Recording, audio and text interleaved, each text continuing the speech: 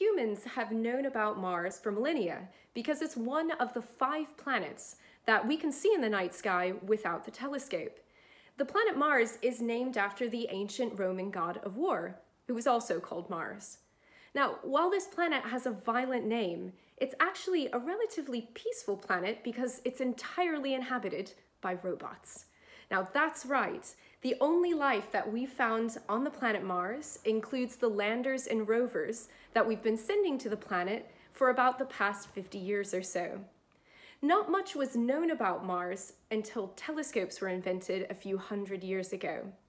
Even in the 1700s, astronomers like Giovanni Cassini and Christian Huygens were able to study Mars's polar ice caps and observe how the ice caps seemed to change in size depending upon the season that was happening on Mars at the time. Now, Mars actually has seasons very similar to the Earth. But by the 1800s, astronomers like Giovanni Schiaparelli began to note that there seemed to be long, darker features streaking across the surface of the planet Mars. Schiaparelli described these long lines as the Italian word canali, which be can be translated into English as channels or canals. Now, this discovery actually caused a lot of controversy at the time because of the differences in these two translations. A channel is a natural feature on the surface of the planet, but a canal is engineered by life. So, this led a handful of scientists at the time to hypothesize that there's intelligent life on the planet Mars and that they'd actually built canals that transported water from the poles to the rest of the planet. Now, this idea actually inspired many science fiction novels at the time about what the so-called Martians were doing on the planet and what they were like. Now, eventually, these canals on the surface of Mars were shown to be an optical illusion, and that was actually shown by astronomers at the Royal Observatory Greenwich in London. These two astronomers were called Annie Maunder and Edward Walter Maunder.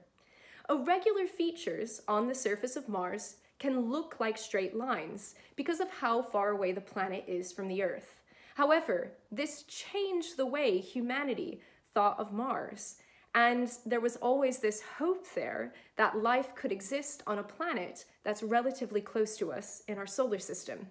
We didn't really know what Mars was like until we sent some of the first spacecraft to the planet in the 1960s. Mars is also known as the red planet because of its color, and scientists soon realized that the planet didn't get its color from its temperature. Mars is actually pretty cold compared to the Earth, and that's because it's further away from the sun than the Earth is. An average day on Mars is about minus 60 degrees Celsius, but that can vary depending upon what season that's going on on the planet at the time, um, and also where you are on the planet. So the poles of Mars are colder than the equator of Mars, for example. The reddish color on the planets um, actually comes from the surface of Mars, which is mainly made up of iron oxide, which is just another way of saying rust. Now, the planet also has some incredible features on its surface, everything from canyons to ice caps to craters and even extinct volcanoes. Actually, the highest mountain in the entire solar system can be found on Mars. It's called Olympus Mons, and it's actually three times higher than Mount Everest on the Earth. What astronomers didn't find on the surface of Mars were large bodies of water, though there was some evidence that water existed on Mars in the past. The planet was revealed to be a cold desert that was seemingly devoid of all life. Humankind has had to change their opinion of this planet again. If life ever existed on Mars, then it was either in the past or it's currently much harder to find this life than what we thought.